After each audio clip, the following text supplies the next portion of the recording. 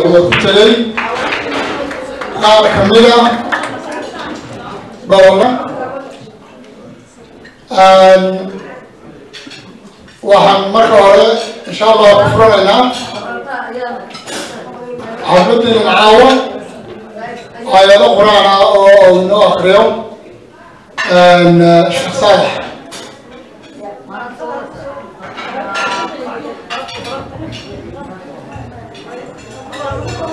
بسم الله. الرحمن الرحيم بسم الله الرحمن الرحيم والعصر إن الإنسان لفي خسر إلا الذين آمنوا وعملوا الصالحات وتواصوا بالحق وتواصوا بالصبر. صدق الله العظيم مساك الله خير. إلهي أكرم مريو آيادا آيادا قرآن كريم iyadoo waktigii munaasibkii ay inoo furi lahay hawshan inaan taagan nahay waxaan jecelahay inaan u yeelo gudoomiyaha jaariyadda saciid cabdi iimaan oo magac dheer cali inuu inoo furo. Cali ku soo dhawo adigoo maasan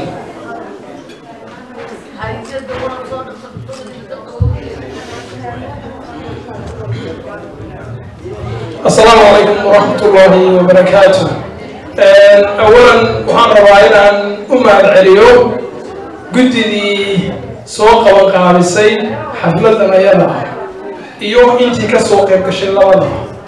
run ahaantii wakti aada u kooban oo mataqaanaa aada celiili u ah ee xafladan quruxda badani soo diyaariyeen guddida gabdhaha fulinta mataqaanaa dowlad deegaanka soomaalida etoobiya run ahaantii mudnaanteeda xafladan waxaa iska leh gabdhaha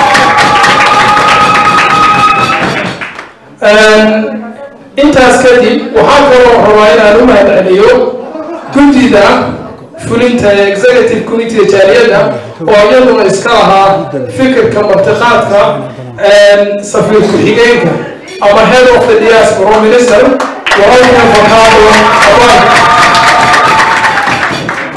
invitationka ee loogu yimid xafladaheena wala wadayni aanu safaaradda kula shaqadhaana laakiin waxaanu tusnay inuu warafaas yahay meel kasta oo tagnana wuu nala tegi uuna diyaar u yahay habeen iyo maalin midnimadeena iyo mataqaanaa mudnaanteena iyo wadajirkeena inuu ka shaqeeyo walaalkeen cusub oo hadda mataqaanaa bedelayn mataqaanaa ninkii hore loolan jiray dhamakhe waxaan leeyahay bakado welcome to somali community.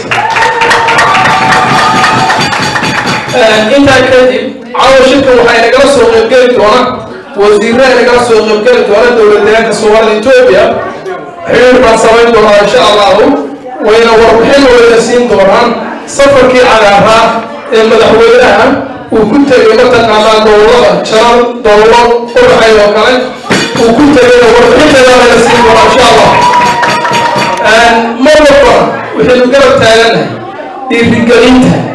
Dhiirigelinta dowladdeena iyo shacabkeena. Wixii horumara ay dowladdeena socoyso mar walba waa inaynu garabistaan iyo dhiirigelin iyo hambalyo waajibaadka ay guteen iyo waxqabadka dowrkooda iyo dadkooda waa mar walba uga mahad celinaa waxaan ku soo dhaweynayaa in hadal badan baarlamanta hadal bilaa waxa ka yaaba inuu la taraaraxo waxaan ku soo dhaweynayaa minister fakado inuu warbixin kooban inaga siiyo mataqaanaa yani manhajka amase bolisiga amase developmentiga 2015-2016 ka uga dejisan oo b t one b t two la yidhaahdo yaa mataqaanaa ku soo dhaweynaya warbixin kooban buu inaga siinaya welcome fakado Javier Nelson. Good evening. Uh, it's a pleasure to be here. Uh, really, I feel very pleased and honored uh, to be here tonight. Uh, to, to be here tonight with you. Uh, in the name of the embassy and myself, I would like to thank you, all of you, for this wonderful event. Thank you. I would like to thank the Executive Committee of Ethiopian uh, Somali Diaspora Forum and all members of uh, Ethiopian Diaspora Forum living in London, UK. Uh, as you know, at the embassy, uh, we are working on two significant issues. One is on bilateral, bilateral diplomacy. It's uh, uh, state to state diplomacy. We are closely working with the UK government. As you know, Ethiopia is the first African country to establish its embassy in London. So we are highly, we are closely working with the UK government. This is one aspect. The second aspect is working with Ethiopian diasporas. This is second aspect of Ethiopian embassy in, in UK. I really appreciate the good work of Ethiopian Somali communities here in London. I have, I have been moving around, although my coming is very nascent, very short period of time. I got opportunity to visit some areas like Birmingham, Scotland. Wherever I went, I communicated, discussed with Ethiopian Somali communities. They are highly organized, united, very committed, dedicated to take part in the development initiative of our country. Well, I have experience of working with Ethiopian diasporas. I had a strong relationship with Ethiopian Somali communities. I worked in US. So I have a culture, acclimatized myself working with Ethiopian Somali communities. So we are here with, with, with my members, with Ethiopian diaspora, uh, Ethiopian embassy diaspora officers to serve all Ethiopian communities. Uh, as you know, our country is rising. We have been uh, showing growth for the last consecutive 12 years. Africa is rising, especially Ethiopia is extremely rising. With non-oil producing country, Ethiopia is one of the fastest growing economy, not only in Africa, but also at a global level. Why? The government is committed, the people is also well committed. We have like embarked 10 sugar factories the government is working on 10 sugar factories. At the end of the next uh, growth and transformation plan, we will be the second largest producer of sugar in the world.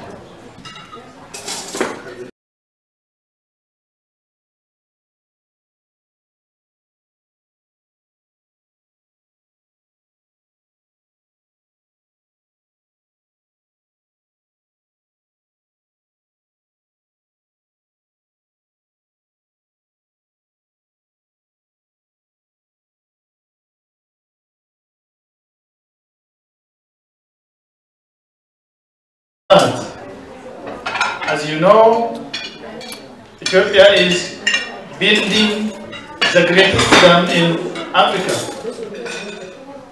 The Rena- Grand Renaissance Dam is under construction.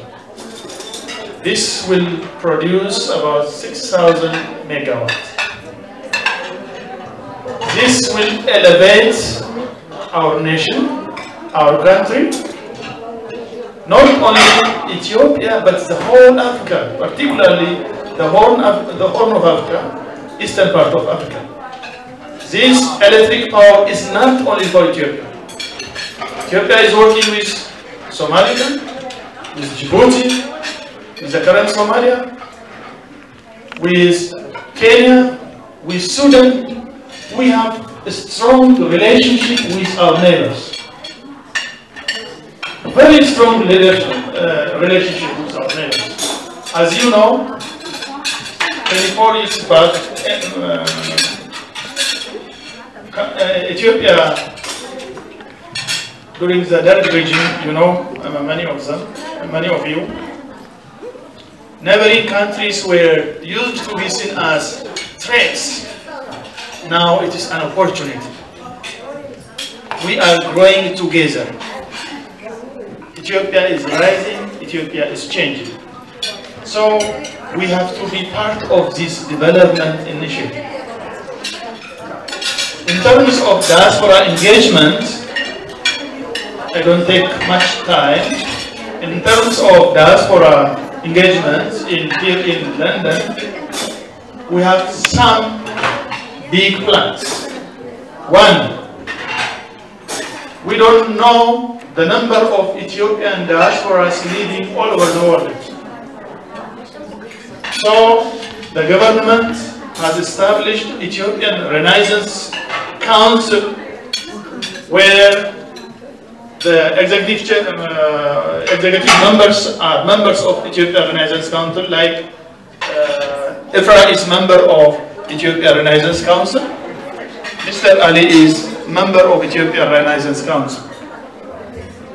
It is an umbrella organization drawn from different community members.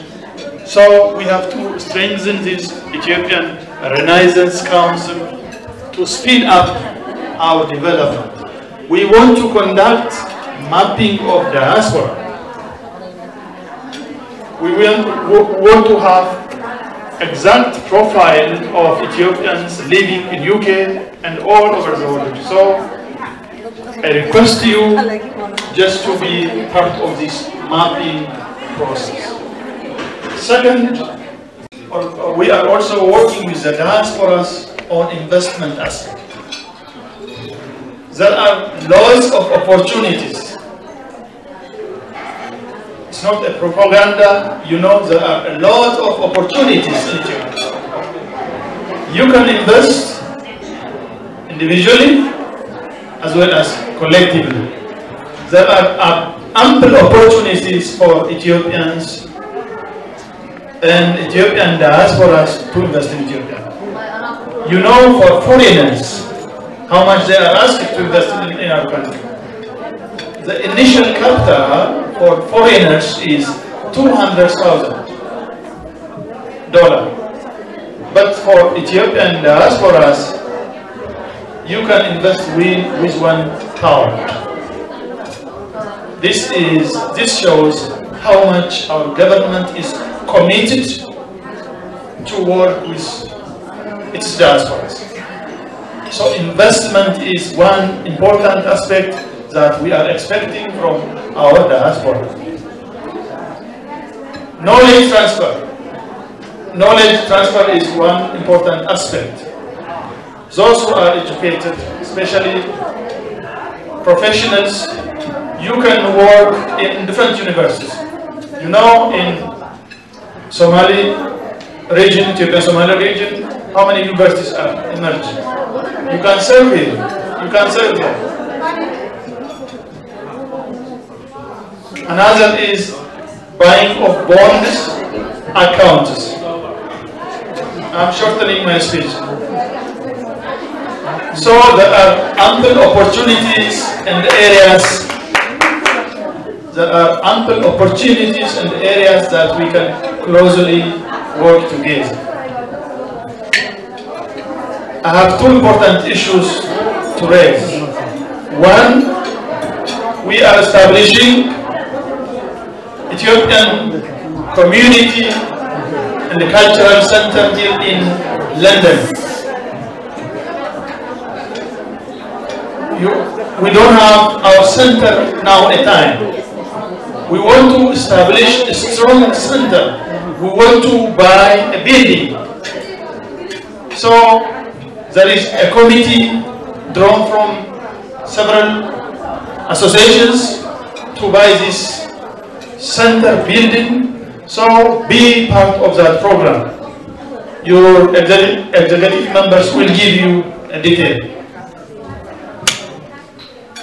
Last not least, on Saturday, uh, Saturday, the coming Saturday, on the 12th of December, we are celebrating the 10th anniversary of nations, nationalities, and the People's Day.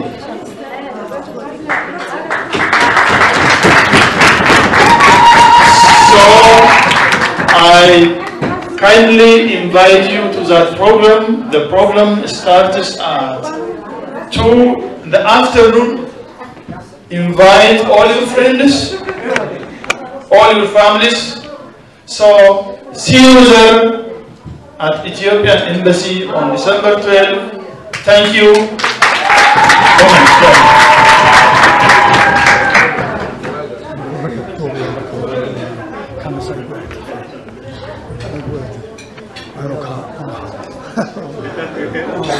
Aad iyo aad buu mahadsan yahay. Ricardo Bayene Diaspora Affairs Minister Council. And uh, wuxuu inoo sheegay waxyaabo badan oo taabanaya. Uh, jiritaankeena halkan aan wada joogno. Waxaana muhiima inaan sidaan uga qayb qaadan lahayn. Aan dhammaanteen qof qof iyo maaragtay wadajirba uga wada qayb qaadano innagoo weli bartanka kaga jirnaa iskuimaatin ujeedadii iskuimaatinkeena leeyahay taageerada aynu halkan u gudbinayno socdaalkii horumarka cagaaran waxaan halkan ku soo dhaweynayaa inay waxoogaa warbixin kooban ina siiso ifraax cabdiraxmaan oo ah guddoomiyaha haweenka jaaridiinta soomali soomaalida etoobiya ifraam soo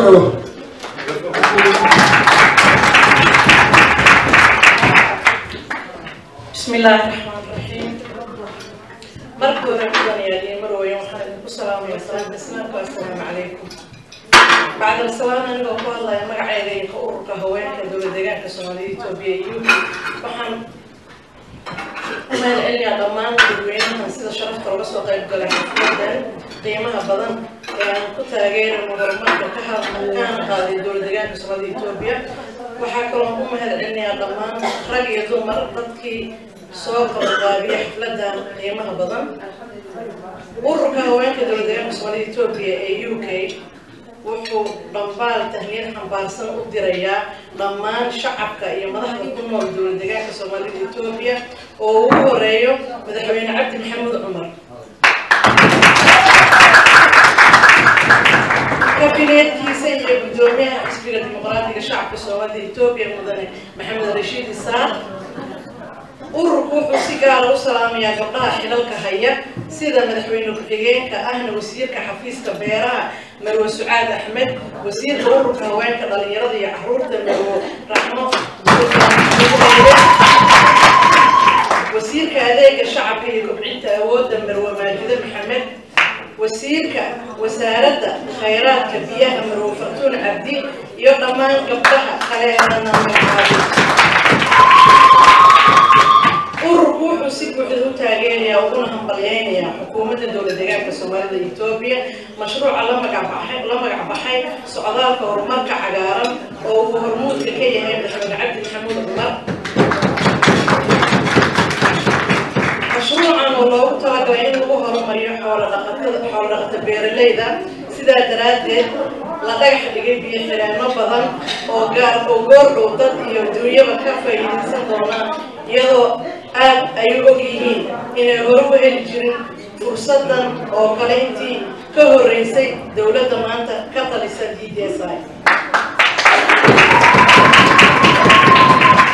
waxaa kaloo ku faraxsannahay haddii aan noo haweenka in ra'iisul wasaaraha hayna maryam uu tusaale u soo qaatay dowlad deegaanka soomaalida etoobiya sida fiican ay haweenka xuquuqdooda u siisay ama saamigooda u siisay waana u xuniya waxaa kaloon ammaan mudan ciidanka liyu booliiska oo mushaarkoodii qayb ka koriyay walaalaheena abaartu ay gobolka abaartu saamaysay ee city taasina waxay caddaynaysaa sida ciidankeenu uu garab taagan yahay mar walba shacabkiisa uu caawiyo. Aad ayaynu ugu mahadsan yihiin sida ay isku xilqaameen liyu boolis noolaada weligiin cadowgiina hadda. Waana ku mahadsantihiin sidaad ii dhegaysateen habeen wanaagsan soo dhawaada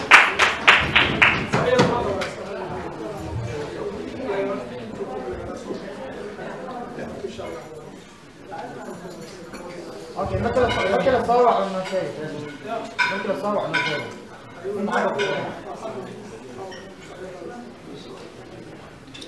كما رجل يرتد أنا ولا اتركت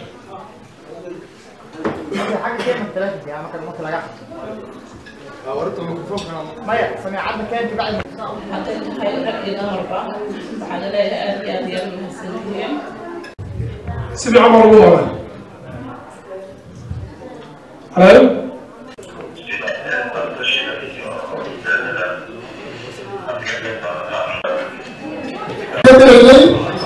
iminka waxaan u yeelayaa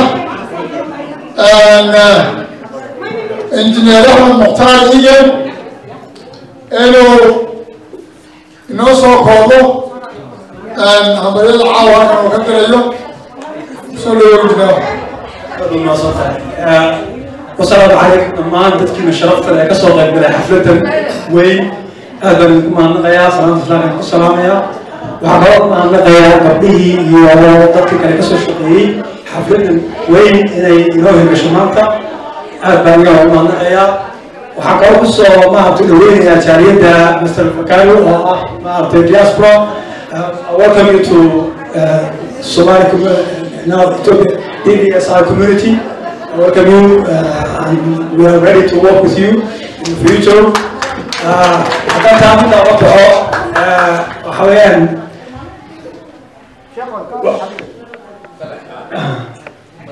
waxaa kaloo u mahadnaqayaa maaragtay madaxweynaha iyo wafdigii ballaarnaa socdaalka ay ku mareen gobolka qoraxey wardheer iyo muxuu ahaa jarar goboladaas oo dhan oo ay ka sameeyeen maaragtay horumar cagaaran ee laga sameynayay muxuu ahaa barkado waaweyn oo biyo xireena si looga haqabtiro dadka biyaha iyo maaragtay loo horumariyo.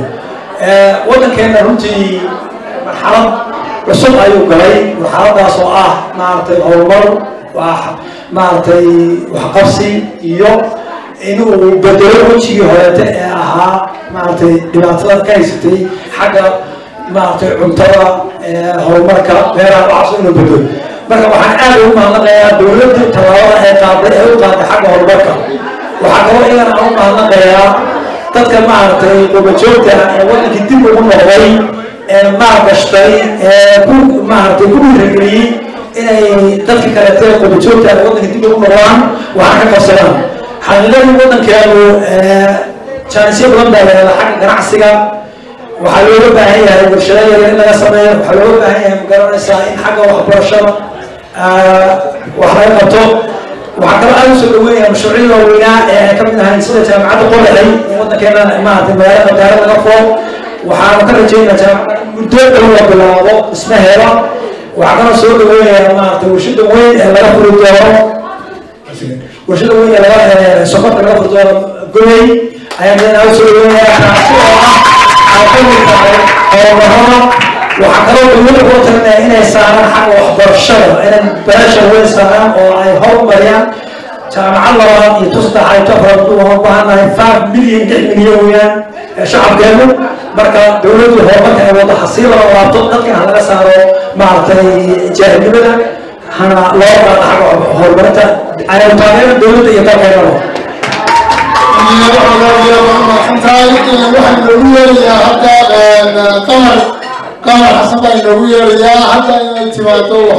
waxaa inoogu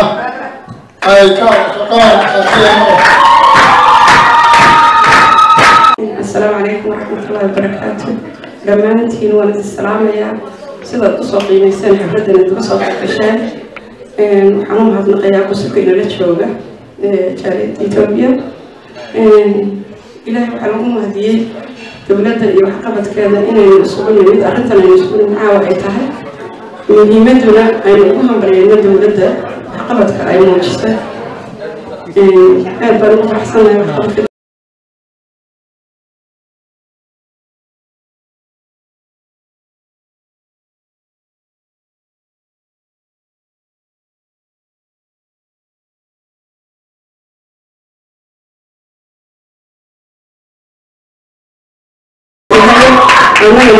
iyo shacada inay ku qaybayaan dowlad deegaanka soomaalida etoobiya ha guulaysato mbaliyo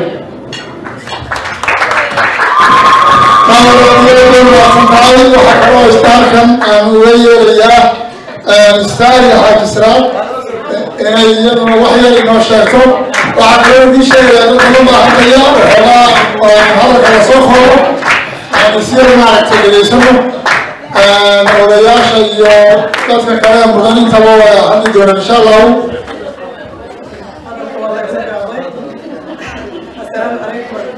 aad iyo aad idiin salaamaya dadkuna aad dhalinyaradu siiba waa daacsan tahay waxay rabaan misig iyo baxaan aad iyo aad idiin salaamaya waxaan hambalyo u jeedinayaa madaxweynaheena cabdi maxamuud dumar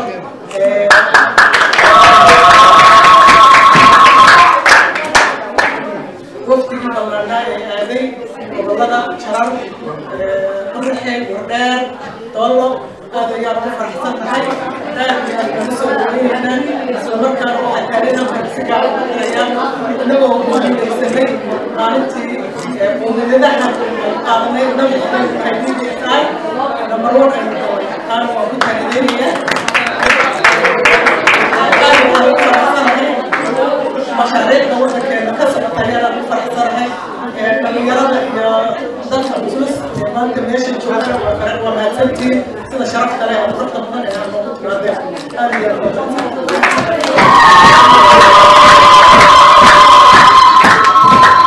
waxaan waxaa isaguna aan soo dhaweynaynaa cabdirashiid daal axmed oo isagu ka socda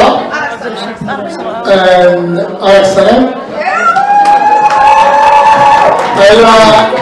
oo isaguna halkan marti inoogu ayay doonaya inaan dhaweeyo si uu ereyga ku habboon halkan uga idhaahdo cabdirashiid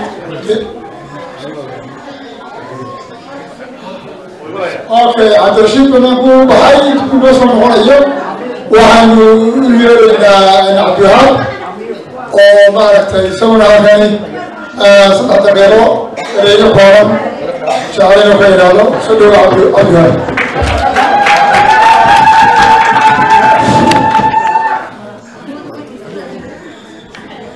مشاورة أولهم سلام نوري.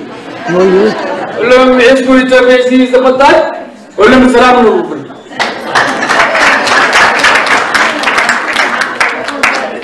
እንደገና يا عبد መሐመድ ዑመር محمد عمر يا أولهم زونوش بديقات مني يسقطوا أولهم بديقات يسقطوا marka hore waxaan soo dhaweynayaa socdaalkii madaxweynaha mudane cabdi maxamed cumar uu ku tegay gobolada waxaan soo dhaweynayaa horumarka cagaaran tillaabada uu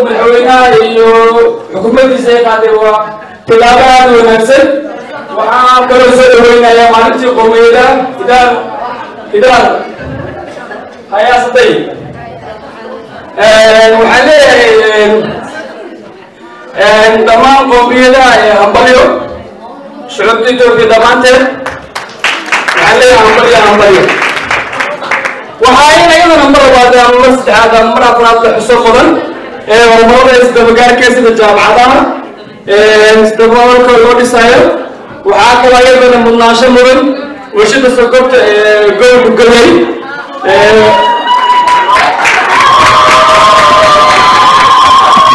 waxaa kaloo munaasabada xagga horumarka beeraha biyo xiramada weyn ee laga sameeyey iyadana meelo badan sida hadda hadda socdaalkii madaxweynaha meelaha badan oo dhagaxa dhigay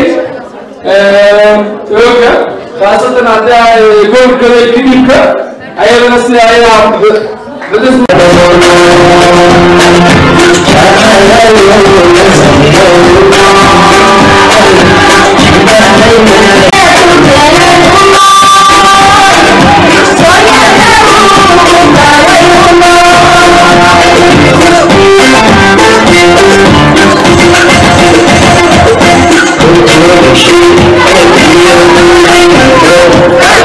Thank you.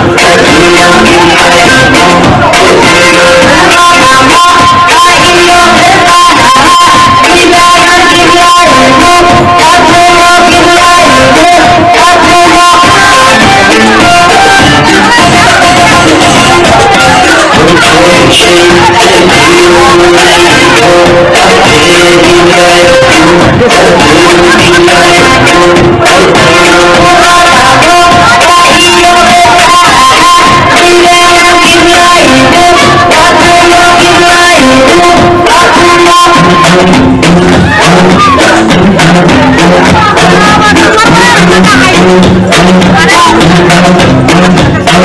you.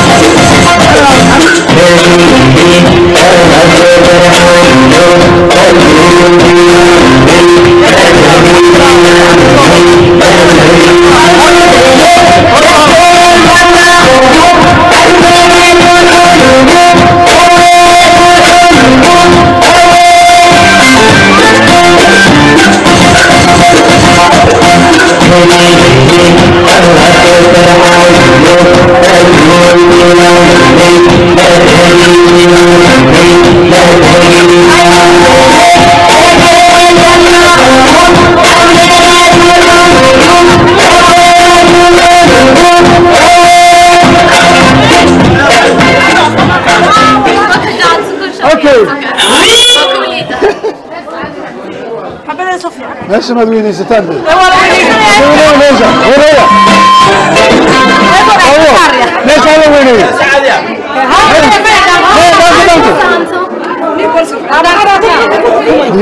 meesha weynaysta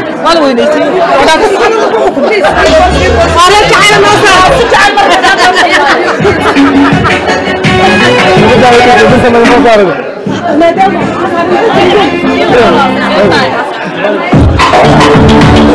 Pero